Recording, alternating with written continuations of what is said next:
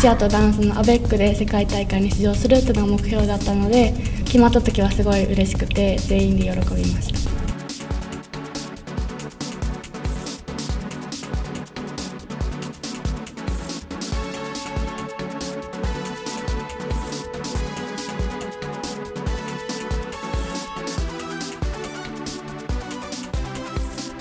途中で何かがあったとしても自分はやりきったもう大丈夫悔しくないって思える演技をしようっていうのをずっと言ってやってきたので本当に自信しかなかったです。これはいけるっていう。途中上の子を下ろさずにずっと続けてその技をどんどんつなげてやっていくっていうのがあってで最後に一番高い位置まで持っていって上の子が技をまた出してくれてっていうのでそこでもやっぱり見せ場だしそこが全部決まったのが大きいかな一回も落とすことなく本当に自分らが納得できる演技ができて本当にそれは良かったな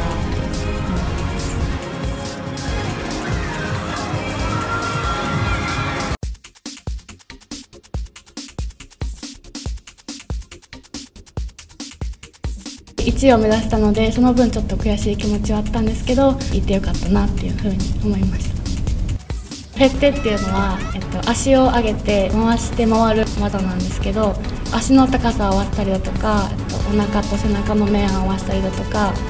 手の位置だとか全部合わせなきゃ揃わない技なのでそこが一番大変でしたいかに冷静にできるかっていうので前の人を見てしっかり合わせるっていうことが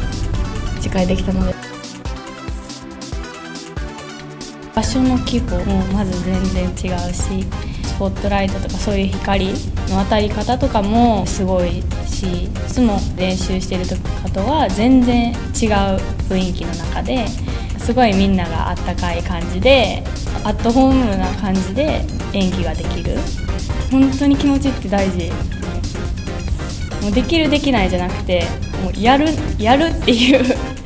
のがすごい大事だと思う。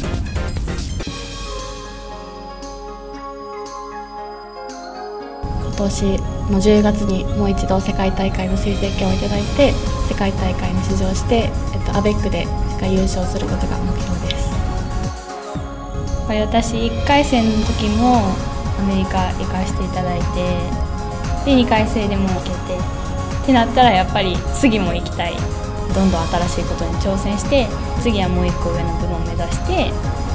頑張りたいなっていう思いはあります。